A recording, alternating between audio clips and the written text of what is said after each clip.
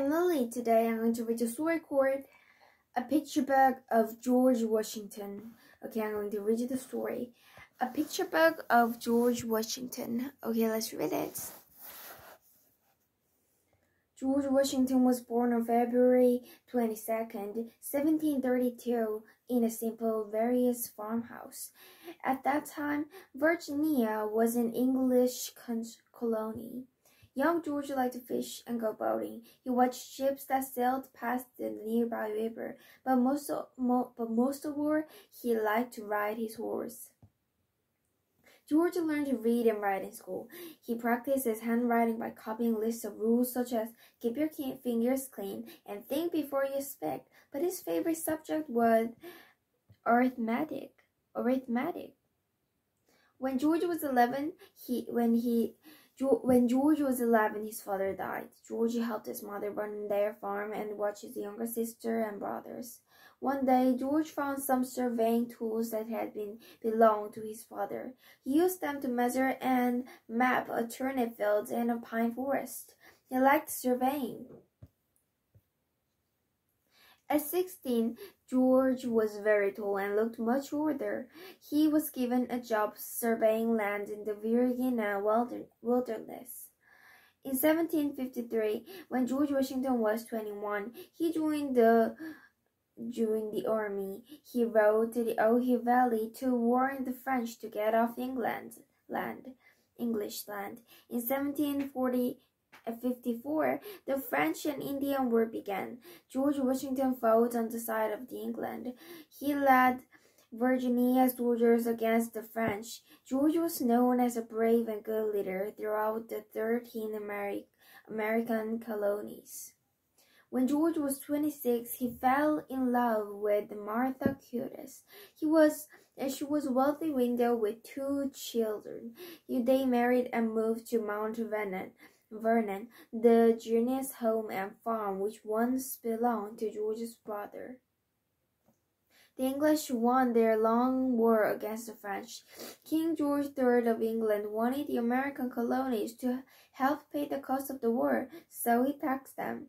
American colonists refused to pay taxes. In Boston, colonists dumped tea into the harbor rather than paying the tax on it.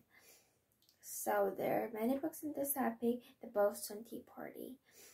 In April 1775, fighting between England and her American colonies began near Boston, at Lexington and at Concord, Massachusetts.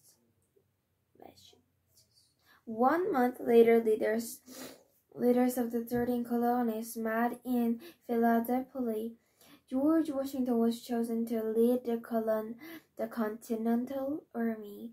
Often there were not enough uniforms, foods, blankets, and guns for George Washington's soldiers. The war lasted eight years. George Washington and and the army fought bravely. In 1783, when the American colonists won the war, George Washington was a hero. The 13 colonies became 13 states.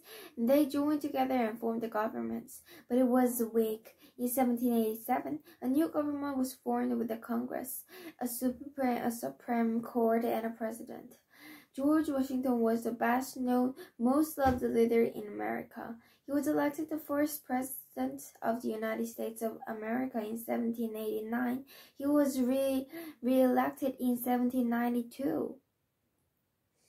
President George Washington signed treaties with the Indians, Spain, and England. There was a war in Europe, but George Washington kept the United States out of it. When some farmers in Pennsylvania refused to pay tax on whiskey, George Washington sent soldiers to force the farmers to obey the law. In 1797, after eight years as president, George Washington returned to his home at Mount Vernon. Each morning he rode across his farm, his large farm on horseback. Sometimes he often rode 50 miles north of Mount Vernon to watch the building of the new city. It would be the capital of the United States, and it would be named after him. He would be, it would be called Washington. When in 1799 George Washington became ill and died. He was 67 years old. George Washington was a great leader. He has been called the father of our country. It has been said that George Washington was first in war, first in peace, and first in the hearts of his countrymen. So it's a short book of George Washington. And I'm going to read you a story called Oh, there's another book about Abraham Lincoln. I think it's a series series books, but a picture book. Da, da, da.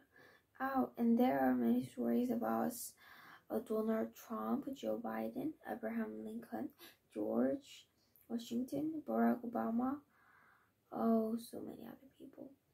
Why am I just why I shiny and soft? Uh, but today I'm going to read you a story called George Washington's wife, who the George Washington fell in love with. So I thought the name was Martha Washington. She is. This is she. Martha Zoom Washington. Martha Washington was the First Lady of the United States. Martha was the first woman to have the role.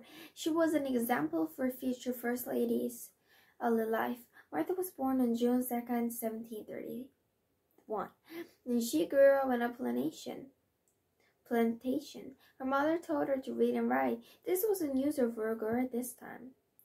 Later, Martha's first husband died. She then married George Washington in 1789. Uh, uh, 59.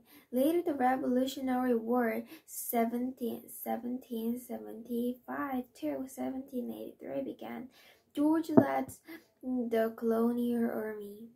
George was general. Martha left him at the, at the army camp during the winter. She helped the wives support their husbands who were fighting. In 1789, George Washington became the first U.S. president. Martha became the first lady. There was no White House. The first family lived in New York, mm, then later moved to Philadelphia.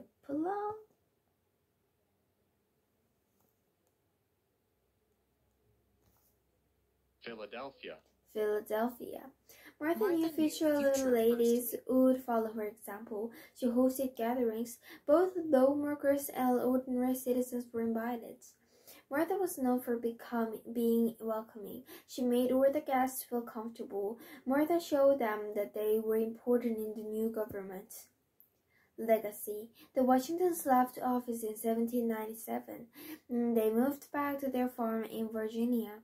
Martha died on May 2nd, May 22nd, 9, 18, and so, uh, 1802. He, she, and her husband are remembered for shaping a new country. Okay, so today read a story about George Washington and her wife Martha Washington. Okay. Oh, Michelle Obama, Nancy Reagan, George Washington, and oh, Nellie Nutgraf. Oh, Donald Trump, Benjamin. Oh, Benjamin Franklin. Benjamin was a writer and inventor. He was also son and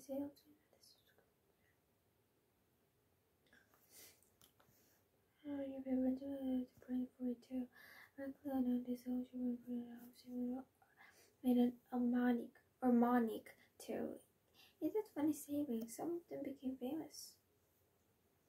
I didn't show them learning analysis was a in many things. History maker. The American colonies wanted to be free from Britain. And Franklin tried to keep peace, but war broke out. Franklin supported the colonies. He got the French to help them fight. Franklin helped create the Decla- Declaration of Independence. The, col- the colonists soon became free. He worked, worked on the U.S. Constitution legacy. Franklin worked to help people. He shared his many inven- inventions. He worked to progress city. Franklin became very famous. On April 17, 1790, he died. Many people celebrate his writings. Same from his ceremony are coming today too. Okay, so today I just recorded the picture book of George Washington. Okay, bye. Thank you for watching. Bye.